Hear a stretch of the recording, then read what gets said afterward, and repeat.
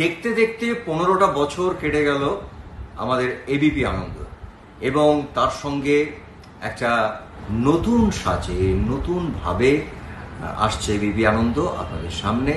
পনেরো বছরের জন্য আমার আন্তরিক শুভেচ্ছা, অভিনন্দন এবং অনেক ভালোবাসা এবিপি আনন্দ এবং এবিপি আনন্দর এন্টায়ার ভালো থাকবেন সবাই, সুস্থ থাকবেন।